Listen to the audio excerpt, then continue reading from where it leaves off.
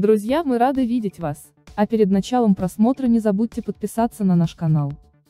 Не стало актера Юрия Агульника. Трагическую новость сообщили в театре «Мост», в котором артист служил более 40 лет. Как уточняет РИА Новости, Агульник скончался во вторник, 27 июля, в возрасте 76 лет. Последние дни своей жизни он провел в больнице. Прощание с Юрием Матвеевичем состоится в пятницу. Пока что неизвестно, где похоронят актера.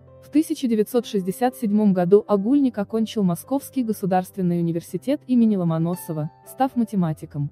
Дебют Юрия Матвеевича в качестве актера театра состоялся в 1964 году. В 1982 году он поступил в студию студенческого театра МГУ. Спустя некоторое время артист устроился на работу в театр «Мост».